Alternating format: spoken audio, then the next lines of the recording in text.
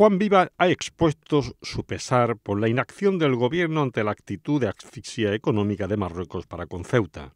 Por la inacción del gobierno de la nación durante los meses anteriores a que surgiera la crisis del coronavirus. Han sido nueve meses muy duros para Ceuta. Hechos y decisiones tomadas del otro lado de la frontera, pero que desde este lado, desde el nuestro, no han tenido la réplica debida, la respuesta debida por parte de quien puede y debe. Viva se ha quejado de la falta de respuesta del Ejecutivo de la Nación a las peticiones de nuestra ciudad para solucionar el problema de la inmigración. Se trata de un asunto de inmigración, por tanto acudimos en demanda de socorro a quien tiene la competencia en materia de inmigración, el Gobierno de la Nación. Pero tantas peticiones, tantas llamadas no han tenido ninguna respuesta eficaz y me duele reconocerlo. Ha criticado también que el 75% de los fondos extraordinarios por el COVID han ido al realojo y confinamiento de la inmigración ilegal que corresponde al Gobierno de la Nación. Y el colmo de la pasividad, señor presidente, llega con el decreto de alarma,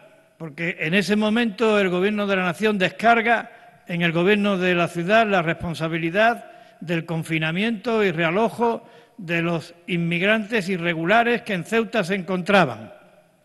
De tal manera que esto trae como consecuencia, señora ministra, que ese fondo extraordinario al que usted ha aludido, en el caso de Ceuta, el 75% de estos recursos van destinados a atender el confinamiento y realojo de los inmigrantes marroquíes irregulares. Más España y más Europa ha defendido Juan Vivas con un plan de reconversión económica para Ceuta con un nuevo modelo productivo. Y la reconstrucción nacional que se necesita en el caso de Ceuta no viene acompañada de un profundo plan de reconversión económica hacia un nuevo modelo productivo, hacia un nuevo modelo económico que piense y se centre en más España y en más Europa y que haga que nuestro porvenir económico no dependa de las decisiones que se puedan tener al otro, se puedan tomar al otro lado de la frontera, Ceuta, señora ministra, no tendrá futuro.